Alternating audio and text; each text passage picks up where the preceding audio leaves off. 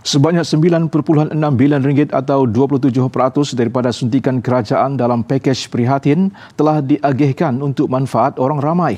Ini termasuk 1.2 bilion ringgit subsidi upah kepada 159,000 majikan memberi manfaat kepada hampir 1 juta pekerja seluruh negara yang berdepan kesukaran akibat pandemik COVID-19.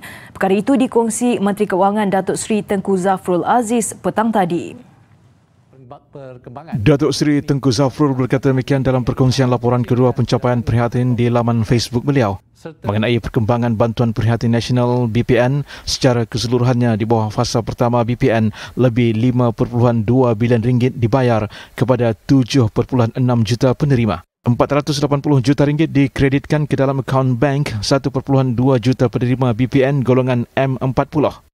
Fasa kedua pembayaran dijangka bermula bulan depan. Selain itu, saya percaya ramai rakyat yang bertanya, bilakah permohonan baru dan rayuan BPN akan diumumkan?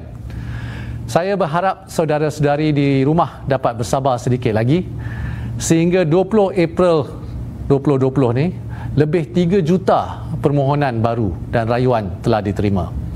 Pegawai di LHDN sedang berusaha sedaya upaya untuk mengesah dan menyemak maklumat. Sementara itu, lebih 1.5 juta permohonan air lestari kumpulan wang simpanan pekerja KWSP diluluskan membabitkan pengeluaran 7.02 juta ringgit bagi bulan Mei. Bagi bantuan perusahaan kecil dan sederhana, PKS turut berjalan lancar.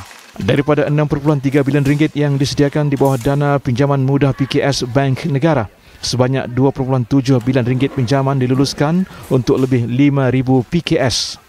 Bagi bantuan ketiga, pinjaman skim kredit mikro yang disediakan Bank Simpanan Nasional dan Tekun pula, lebih 45 juta ringgit diluluskan untuk 1,500 perniagaan mikro. Sementara itu, geran khas prihatin khusus untuk perniagaan mikro juga akan dibuka mulai 1 Mei.